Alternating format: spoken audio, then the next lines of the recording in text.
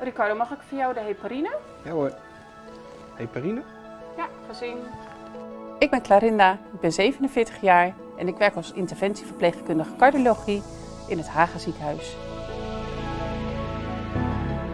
Als interventieverpleegkundige hou ik me bezig met verschillende onderzoeken bij ons op de afdeling. Uh, we doen hartkatheterisaties, we doen uh, dotterprocedures, we implanteren pacemakers en ICD's. Voordat wij beginnen met de procedure maken we steriele tafel. Uh, ik en mijn collega zorgen ervoor dat alles klaar ligt, zodat de cardioloog kan beginnen. Hierbij maken we de medicatie klaar.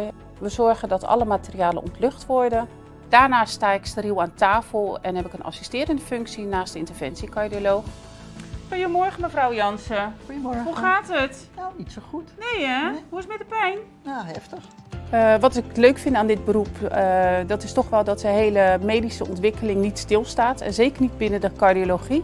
Zo zijn er steeds weer nieuwe behandelmethodes, nieuwe materialen die wij uh, bij ons op de afdeling gebruiken. Bij ons op de afdeling is geen dag hetzelfde. We zijn een gezellig, klein hecht team ja, die veel met elkaar bespreken. Zo zijn dienstruilingen eigenlijk ook nooit een probleem. We staan voor elkaar klaar. Er wordt veel gelachen, maar op het moment dat we serieus moeten zijn, zijn we dat ook. Kijk eens, straks lekker een kopje thee.